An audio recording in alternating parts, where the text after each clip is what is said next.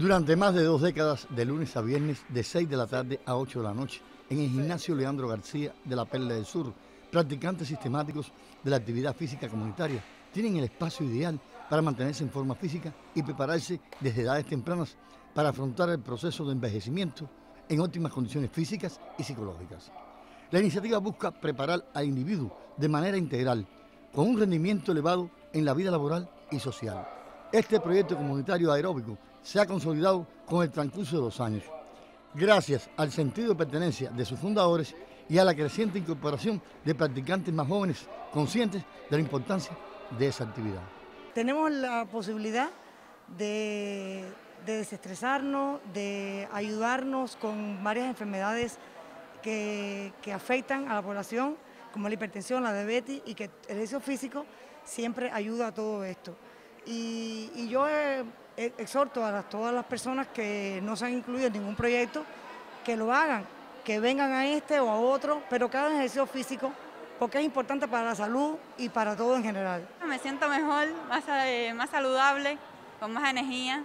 Sales de la monotonía de la casa, de, de, lo mismo con lo mismo, vienes aquí, te distraes, haces ejercicio. El principio de los ejercicios son ejercicios aeróbicos, son aeróbicos más fuertes porque usamos también el trabajo con pesa.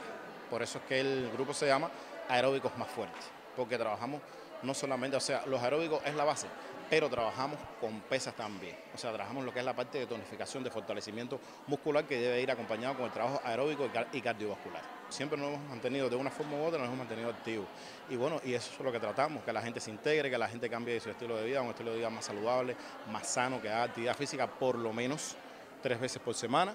Cienfuegos, una de las provincias del país que más aceleradamente envejece, requiere que sus habitantes estén preparados desde etapas tempranas para enfrentar ese proceso y que se hallen socialmente altos para no representar una carga económica en los gastos del presupuesto destinado a los sectores vulnerables de la población. El proyecto aeróbico más fuerte permite a sus integrantes enriquecer la cultura de la actividad física y a su vez se convierte en un socializador de esa práctica. Con una autoestima cimentada en los 12 años de existencia de este proyecto, sus miembros se aprestan a festejar el Día de la Cultura Física y Deporte el próximo 19 de noviembre. Desde Cienfuegos, Primitivo González, Noticiero Nacional Deportivo.